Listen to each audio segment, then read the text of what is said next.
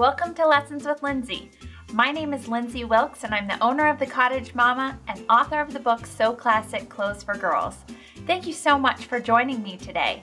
Today we are going to be talking about one of my very favorite things, scallops.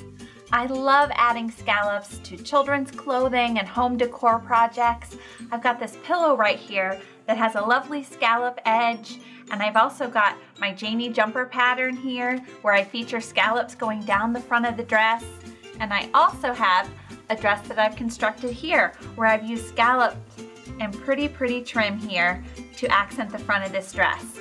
So I'm really excited to share my freezer paper method with you. I think you're gonna find this so easy and such a simple technique to add scallops to all your projects.